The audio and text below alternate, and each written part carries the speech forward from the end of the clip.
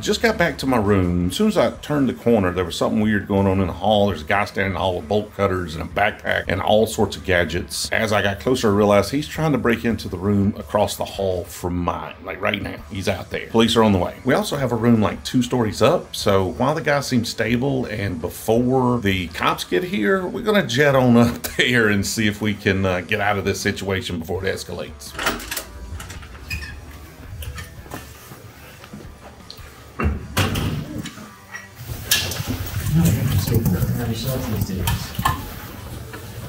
Looks like he's gone. All right. To light the thing on fire. Yeah, well, the whole place smells like lighter fluid at this point. This is more exciting than Taylor Swift. no, not really.